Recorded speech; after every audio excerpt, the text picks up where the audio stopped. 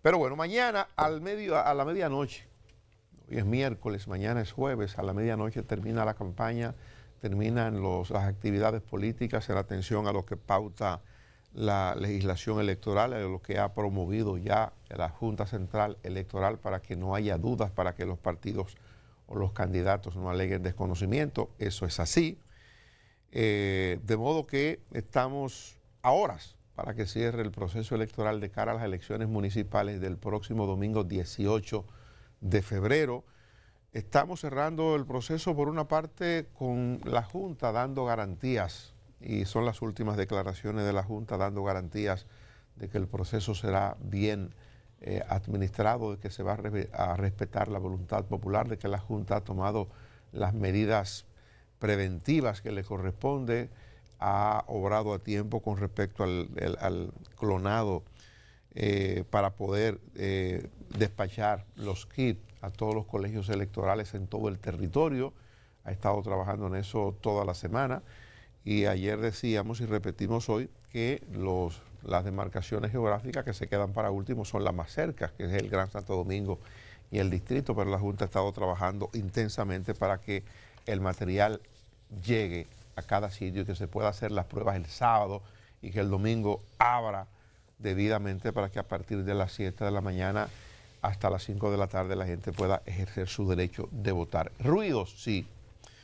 Seguimos eh, con un ruidos en el tema electoral. Hay una denuncia que se ha presentado ante la Procuraduría, una denuncia de un ciudadano eh, que ejerce eh, la comunicación con un alto nivel de chantaje y de responsabilidad.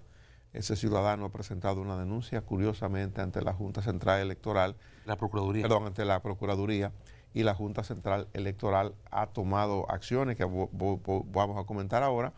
Pero eh, le estamos haciendo caso a eso y hemos hecho de eso un, tema mayor a partir de que no solo eso se ha quedado en las declaraciones que ayer dio aquí el jefe de campaña del Partido Fuerza del Pueblo, el diputado Rubén Maldonado, sino que no conforme con esa denuncia, ya el, bloque Rescate RD, el bloque de oposición que se llama Rescate RD, ha asumido eso que se ha presentado ante la Procuraduría, sin importar quién ha originado esa, esa, ese, ese señalamiento de que el DNI pudiera hackear el proceso electoral para darle ganancia mayoritariamente de manera abrumadora al partido oficial, al Partido Revolucionario Moderno y Aliado. Es lo que se ha dicho.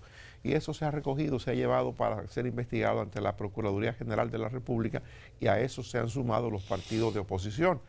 Ya hubo ayer formalmente una petición que está haciendo el Partido Revolucionario Dominicano, está haciendo el Partido de la Liberación Dominicana y está haciendo el Partido Fuerza del Pueblo.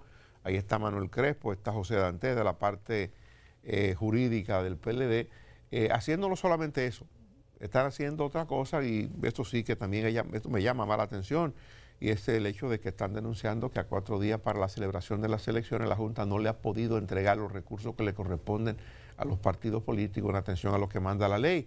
Y dicen ellos que la razón por la que la Junta no ha podido cumplir con esto es porque la Dirección General de Presupuesto ha recortado a la Junta el dinero que le tenía que entregar para que la Junta le entregara completo el monto que le corresponde a los partidos políticos como manda la ley en años, en años electorales. Bueno, lo que tiene que ver con la denuncia del supuesto hackeo al proceso eh, ha generado ahora una especie de discusión entre eh, Iván Vladimir Félix Vargas, que es el procurador general para asuntos electorales, y la Junta. La Junta, cuando esto se ha presentado, en el día de ayer, la Junta mandó una comunicación al señor Iván Félix García, procurador de la Procuraduría Especializada en Crímenes y Delitos Electorales. Esta comunicación la Junta la, la envió en el día de ayer y fue recibida a las 6 de la tarde por el titular de la Procuraduría, eh, de Crímenes y Delitos Electorales y entre otras cosas la Junta le dice que frente a las denuncias que se han hecho o a la denuncia que se ha hecho, que es una sola denuncia con respecto a ese tema, dice ante cualquier querella, denuncia o queja que pueda poner en cuestionamiento la transparencia, certeza e integridad de los procesos electorales en curso, la Junta Central Electoral le solicita que sea investigada siguiendo el debido proceso y hasta la conclusión del proceso penal electoral, le dice la Junta. Asimismo, agrega, el Pleno de la Junta Central Electoral le reitera que está en disposición de colaborar con el Ministerio Público Electoral en todo aquello que sea necesario para cualquier investigación en ese sentido. Y la Junta alega que eh, la Junta no puede hacer ese tipo de cosas porque les corresponde a la Procuraduría de Delito Electoral y dice la Junta que su papel es de montar, de organizar y de arbitrar el proceso electoral. Pues resulta que el titular de la Procuraduría de Delito Electoral, hoy en uno de los diarios, específicamente he visto la historia en el periódico Diario Libre, en la página 6, eh, dice él que esa denuncia le corresponde ser investigada por la Junta Central Electoral. Y entonces hay un... Se refiere a la denuncia de uso de fondos públicos en la campaña, no necesariamente la, de, la del señor Jiménez.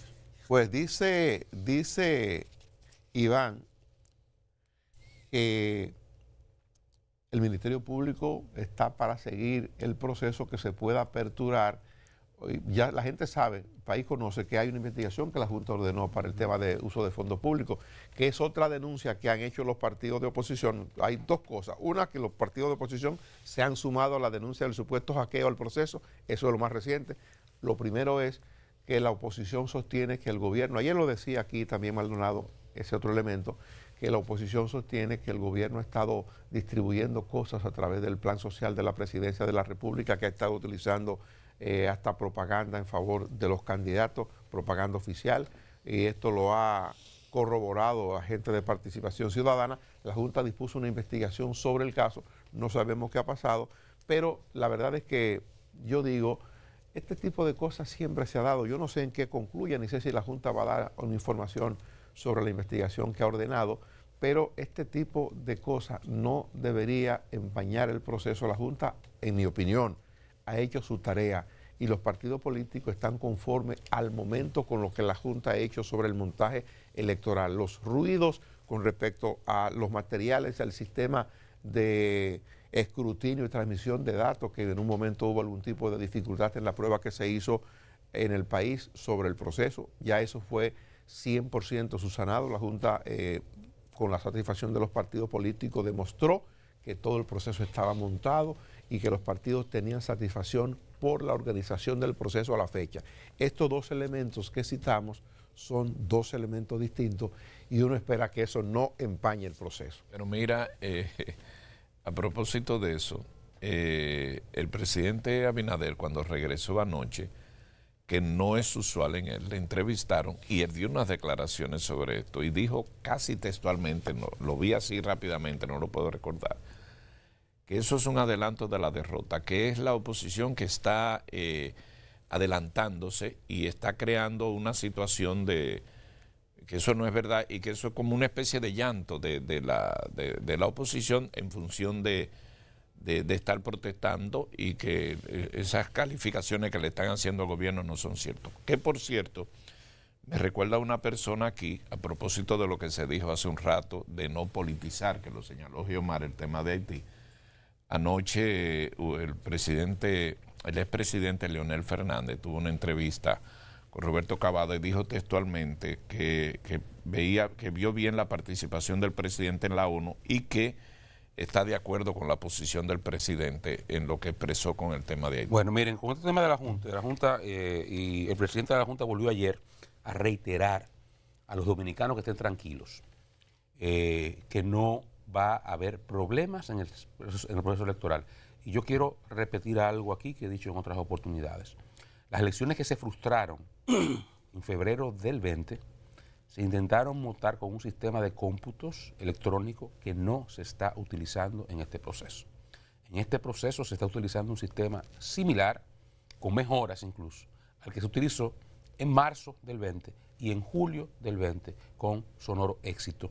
O sea que quienes intentan eh, lanzar dudas sobre el proceso electoral, aprovechándose de esa experiencia traumática de febrero del 20, lo hacen perversamente porque intentan hacerlo mintiendo o intentando hacer un símil con procesos que no tienen nada que ver uno con el otro.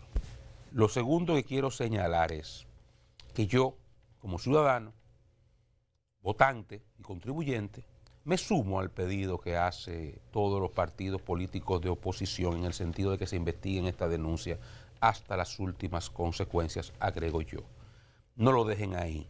Y no es la Junta, es el Ministerio Público que tiene que investigarlo. Y ese Ministerio Público tan eficiente que lo haga. Eso sí, si encuentran que personas mencionadas en esa acusación, para mí temeraria, pero eso es un criterio mío, personas mencionadas en esa acusación tienen algún tipo de participación en esa supuesta trama, se complete o no, que esas personas entonces respondan ante los tribunales con un expediente acusatorio. Pero si no, si eso es un invento, hay también procesos penales que se pueden abrir por denuncias temerarias y otros delitos informáticos y otra naturaleza que tienen que ver con alterar el orden social, que son delitos graves y que también pueden ser procesados. Porque ejercer la comunicación tiene una responsabilidad, no importa donde usted la ejerza, desde aquí o desde una pendejada de esta. Eh, tercero, yo este proceso lo he estado comparando en diferentes oportunidades como observador con el proceso del 16, donde Danilo Medina en ese momento estaba en las cúspides de su ciclo político, con una popularidad que las mismas encuestas que hoy colocan a Abinader como el presidente más popular, el segundo después de Bukele, colocaban a Danilo como el más presidente, el, más popular de Latinoamérica. Creo que estaba ahí, no sé con quién más, en ese momento. Estaba en el pico de su ciclo, de su ciclo político, Danilo Medina en el 16. Y esas elecciones eran, el único problema de esas elecciones era que estaba todo claro de lo que iba a pasar. En ese momento, a la oposición, encabeza el hoy presidente, que encabezaba entonces el hoy presidente Abinader. Lo único que le quedaba era desacreditar el proceso. Y a eso se dedicaron, con esfuerzo y tenacidad. Nosotros en ese momento, en estos espacios, teníamos la misma posición que tenemos ahora, de defensa al árbitro, al proceso y a la democracia. Porque la credibilidad de nuestra democracia no vale unas elecciones. No se puede lanzar por el, por, el despeñadero porque usted vaya a perder unas elecciones. Llámese usted Luis Abinader y PRM o llámese usted como se llame Leonel, Fuerza del Pueblo, Abel, Danilo, el diablo. No me importa. Entonces, nosotros criticamos a los partidos de oposición que le fueron a hacer un piquete a la Junta y a meterse a Roberto Rosario en el, en el despacho y que desacreditaron y sabotearon el proceso con los escáneres. Roberto se acuerda de eso. Él hoy no sé si la memoria le da para eso. Va a estar en la Super 7 ahorita. Ah, pregúnteme de parte mía, por favor, eso. ¿Qué se acuerda de eso? ¿Y qué le parece lo que están haciendo ahora? Porque lo sufrió. Y salió de ahí siendo el mejor presidente de la historia de la Junta Central Electoral para mí, y lo seguiré diciendo, salió desacreditado producto de ese proceso. De descrédito a, los escáneres para dañar, la, para desacreditar el proceso electoral. Eso le permitió al presidente Abinader no, no felicitar a Danilo Medina. Esta es la hora, no lo ha felicitado. Lo que, lo que Danilo sí hizo en el 20. Entonces, en, e, en este proceso, los que están abajo están en lo mismo. Entonces, concluyo con lo siguiente. A mí me pueden enseñar las encuestas que quieran. Que el presidente dijo 70% ayer, 70 tal vez. Me puede enseñar otra que, que, la oposición va a ganar con el 90. La encuesta más clara para mí fue esa denuncia de ayer. Asumir los tres partidos de oposición con su delegado político ante la Junta, mi amigo y hermano secretario de jurídico del PLD, José Dante, que yo jamás pensé que lo iba a ver en esa vaina. Asumir una denuncia así, de, este, este, perfil de personaje, que Daniel escribió, no me voy a unir a, no, lo voy a reiterar. Ese perfil de personaje, coger para la Procuraduría una rueda de prensa y asumir esa vaina. Tan listo. para mí, ese es el mejor señalamiento de que la oposición tiene muy, muy comprometido su participación en el proceso electoral. Y reitero, lo hago a partir del símil del 16.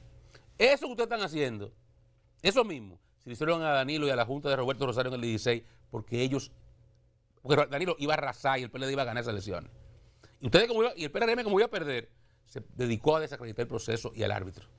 Ustedes están en lo mismo.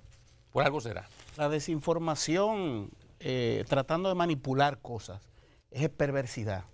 Es perversidad porque se pretende dentro de una conspiración maquillada con derechos, entre comillas, de denuncia y de cuestiones que la democracia, la temeridad en este tipo de cosas es una irresponsabilidad mayúscula, porque hay gente que está detrás de usted creyendo a ciegas a veces, y hay gente que hasta pierde la vida en estas agitaciones. A la gente, ojo con esto, ¿eh? no se dejen usar, manipular y lanzarlo como a una olla de mátate. No, no, no, no. Tranquilidad, calma, a votar, tranquilo todo el mundo. Aquí hay una comisión ya de la OEA, una comisión internacional. No, espera, que- espera que viene, que viene. pero llegaron aquí, Llegaron están aquí están aquí, encabezada por el canciller, el ex canciller de Paraguay, Eladio Loizaga. para mayo que venían. Eh, son 16 Van a personas. observar los tres procesos diferentes- en la eventualidad de que haya segunda vuelta también. Pero qué rápido, porque firmaron el otro día, fue. 16 personas la integran para eh, de, de seis nacionalidades y los temas de ellos, tecnología electoral, justicia electoral, financiamiento político electoral y participación política de las mujeres. Quien tiene vocación de poder no apuesta al caos, tiene la responsabilidad mayor aún cuando ya usted ha estado encabezando y dirigiendo el Estado dominicano. Así es que calma a todos, vamos a votar. Bueno, pues nos vamos ahora a publicidad. Regresamos en breve.